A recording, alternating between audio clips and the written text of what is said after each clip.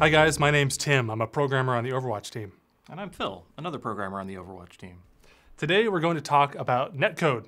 It's been one of your favorite topics on the forums and on Reddit, and we really appreciate the discourse. It's time for us to kind of come out from hiding. We haven't really engaged in this conversation much. And a lot of that was due, at least for me personally, around the fact that I thought netcode is really complicated. There's a lot of trade offs you have to make. It's a technique that's uh, very well understood by fans of shooters in particular. That fear was kind of dismissed by the fact that you guys have reverse engineered how our netcode works anyway. You've had wonderful conversations on Reddit and on the forums uh, using Wireshark and other techniques, your own observations, to really figure out how our netcode really works. We want to take this opportunity to talk about the techniques that we're using, the values that drove those techniques, and changes that we're making based on your feedback, including solutions that you guys have posited yourselves. So, uh, speaking of values, um, one of our first values is what we call favor the shooter. What favor the shooter means is if you line your crosshair up over a target and fire, you should, under most circumstances, hit that target. Absolutely, except in the case where the target does something to mitigate it. An example of that might be Tracer blinking out of the way or a Reaper using Wraith form. The other value is something we call responsiveness, and responsiveness is key to action games in general, Blizzard games down to a key, and first person shooters in particular.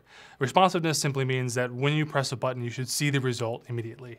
If you press W on your keyboard, you should immediately move forward. We're playing a network game, you shouldn't have to wait for the server to acknowledge you know, what you've done, what your inputs actually are. And that applies to most things you do in the game. We want this game to feel nice and tight and responsive. With a caveat, of course, here that in the event that the server disagrees, uh, mainly because you might have died or uh, somebody did some kind of ability like McCree uh, throwing off his uh, flashbang, flashbang yeah. yeah, in order to mitigate and stun you, your movement would then be wrong and the server would need to correct you. Right. Uh, and those two favor the shooter and its exceptions, as well as uh, responsiveness and their exceptions kind of intertwine. So we'll talk in a bit of detail about the specifics of how we actually solve those problems. We'll kick it off with responsiveness. So um, Responsiveness is pretty straightforward. Basically, the client has a pretty good amount of the simulation built in. So when you hit W, we know exactly how you're going to move. We can start you moving forward while we send that input to the server. It's going to take some time for the server to get that input and process it, but an overwhelming majority of the time, the server is going to simulate pretty much the same result that you simulated. Um, it's going to then send that result back up to you, and if you're correct, which again you are most of the time in your predictions, there won't be any change. You won't notice it. If um, there's a misprediction. For example, you thought you moved forward, but some McCree threw a flashbang and stunned you. The client will receive that authoritative update from the server and snap you back or, or, or, interpolate you really quickly back to the position that the server acknowledged was the right spot where you should have gotten stunned. These responsive techniques apply to pretty much everything we do in the game. There are a handful of exceptions to it, um, mostly around spawning barriers, spawning an ice wall. Mm-hmm. Uh, there are a few slow moving attacks like Reinhardt's Flame Strike and Symmetra's Secondary Fire, for example. Um, if you'd like to test this at home, try playing with two different pings. Connect to a North American server if you're a North American player. Try firing off Symmetra's secondary fire and see how long it takes before that ball appears, and then connect to a European server and see what the difference is. In that case, we don't predict those those shots. But again, the majority of cases we do. So Pharah, for example, yeah. we predict those rockets. Yeah. So when you see when you hit the fire button on Pharah, you'll see a rocket flying out. Now that rocket's completely predicted.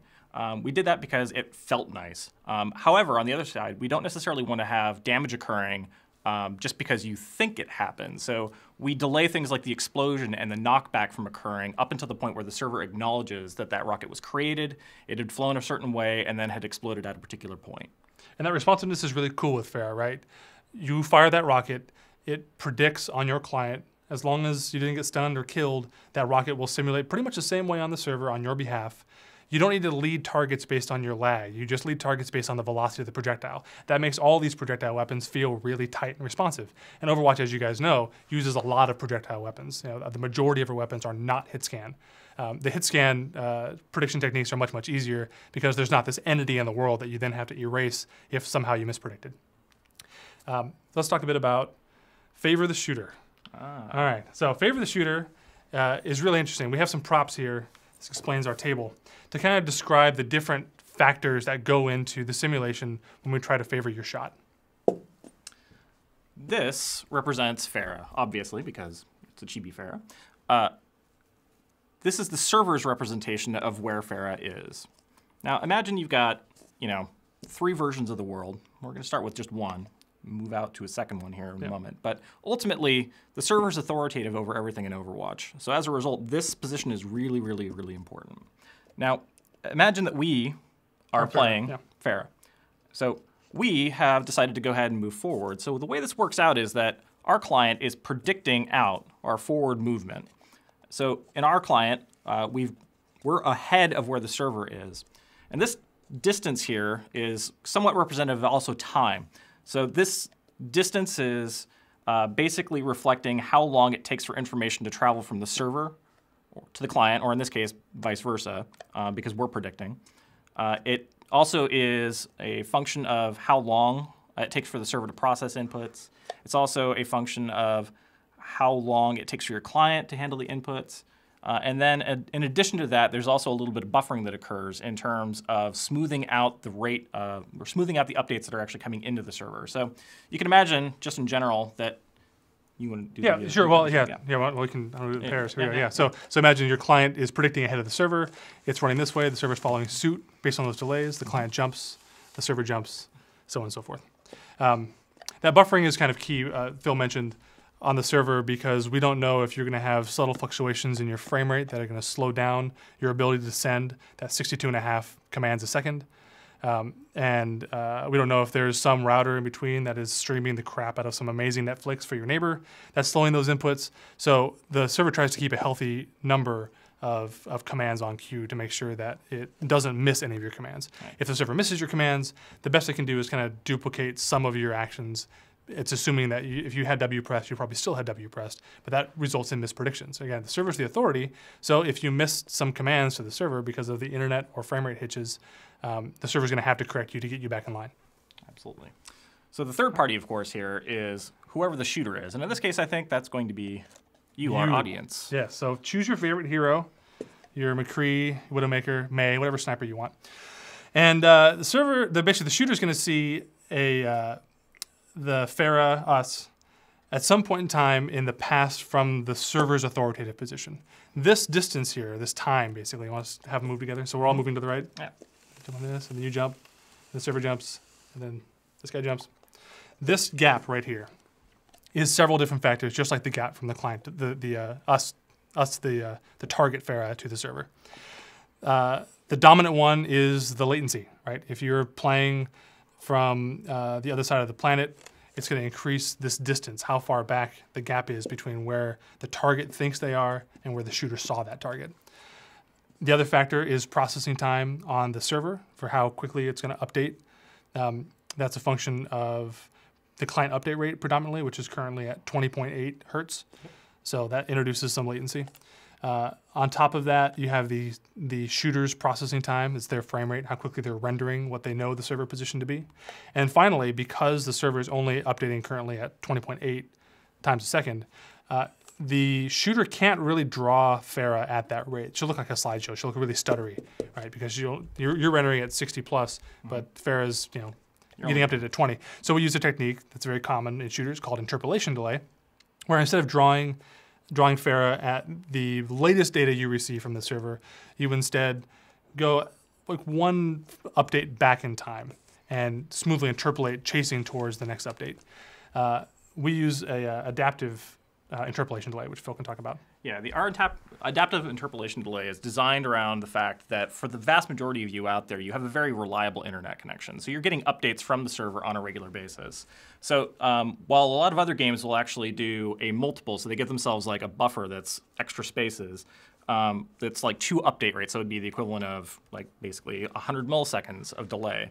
Uh, we rely on the fact that you've got a good good connection, you're getting updates on a regular basis. We shrink in the amount of time that we're actually interpolating on the assumption that you're going to continue to have a good connection. And that allows us to not basically uh, have, have as much distance in terms of how far back the person who's shooting at us is seeing.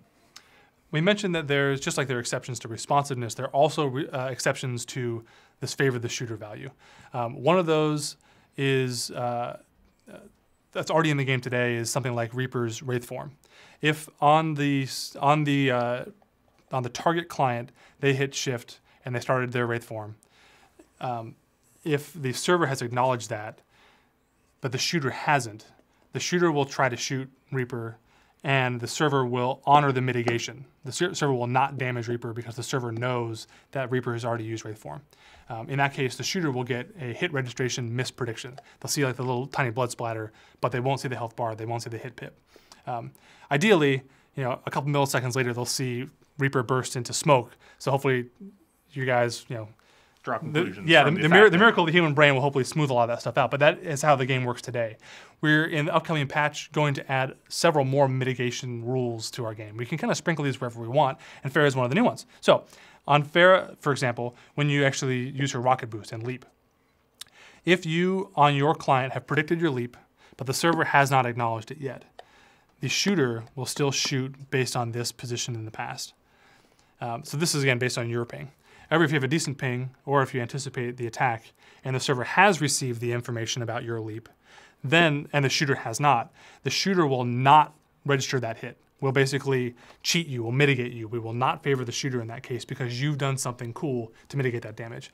Um, currently, that's in a couple of the invulnerability abilities like Wraithform or Zenyatta's Transcendence. It's also in a very small number of high movement abilities like Tracer Blink and Genji Dash. We're going to add it to several more, and we appreciate your feedback on it. Um, you guys haven't commented too much about mispredicting on tra- on Tracer Blinks, so hopefully you won't comment too much about mispredicting on Pharah or Winston or Widowmaker's Grapple Hook or a handful of other abilities that we're going to sprinkle this this mitigation exception to.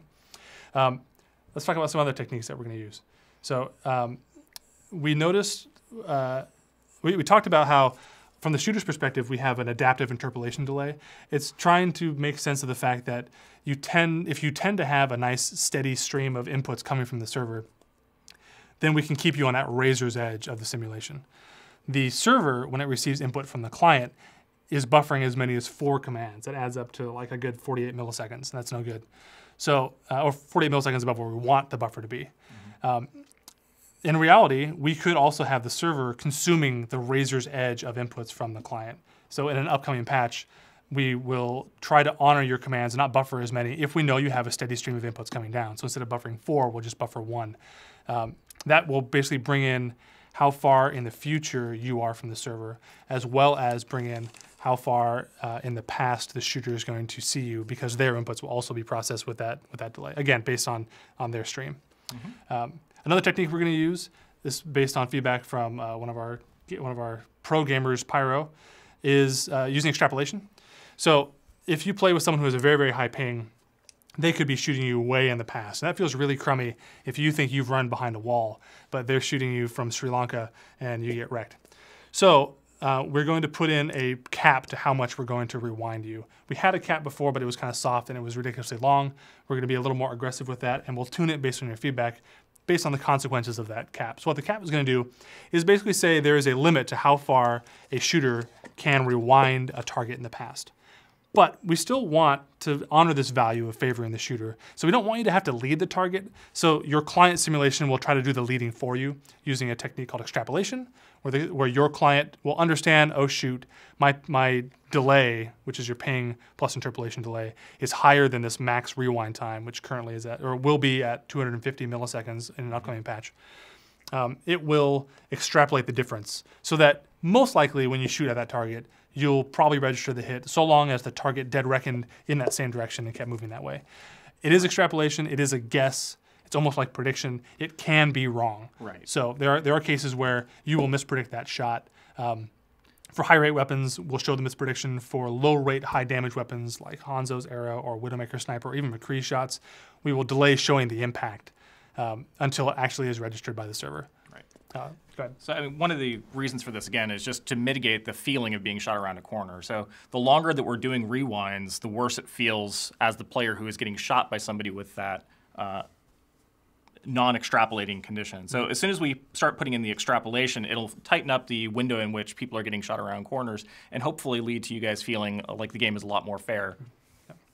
Um, another thing we do, again, a lot of these things come down to trade-offs with values, is we uh, we choose to match you against similar skilled players and similar ping players, um, and it's a trade-off, right? Because you could be playing against people who have a very low ping like yourself, you'll be shot around in corners less, but um, they're you know a pro widowmaker and you just get wrecked anyway. You did, don't make it out of the Yeah, doesn't. very Yeah, often. um, so you won't. You'll be shot before you run around the corner, but you'll be shot all the time. So we have to make those trade-offs, right? We have to try to match people with similar skills, try to match people with similar pings. We're, we've we've been tuning that, and in upcoming patches, we should see some better ping-based matchmaking. And certainly, once we get into open beta, the floodgates will open, and we'll have way more opportunities to basically factor ping into the equation and reduce this even further. Finally, uh, as a kind of a treat in the upcoming patch or Yeah, upcoming patch. upcoming patch, Yeah. uh, we will be adding in an option on custom servers uh, for those of you who like to do tournaments and scrims uh, to play at a 60 hertz update rate on your client. Now, what this means is that you will have the ability to check a box on the UI and get into a scrimmage where the times that we're actually spending in terms of you waiting for the server to process or send you data gets shrunk down even more. So for those particular games, especially when you're trying to do a competitive tournament, it's really important that you have a very, very responsive uh, gameplay session. So uh, we're trying to add an option to support that specifically for these cases. And out of the gate, again, we talked through all the factors, right? Your latency is a factor, processing time, interpolation delay, these are all factors. If you are playing a custom tournament against people across the pond, that 60 hertz update rate is probably not going to help much because it's going to be dominated by by latency. Um, it still help. It'll help a lot, right? It'll shave off about 20 milliseconds on average from the interpolation delay, and about 20 milliseconds on average from the processing time. So that, that 40 millisecond zone, assuming everyone has a nice clean uh, Good solid yeah, good solid connection should be good. Um, thank you guys. Um, I look forward to your feedback on this netcode discussion. We really appreciate the ideas you shared with us so far. We've integrated a lot of those into the game that you'll see in an upcoming patch. We take this stuff very seriously. Uh, favoring the shooter, responsiveness, server authority, these are all really important values to making Overwatch great. And we appreciate you guys going on this journey with us. Thank you again. Thank you.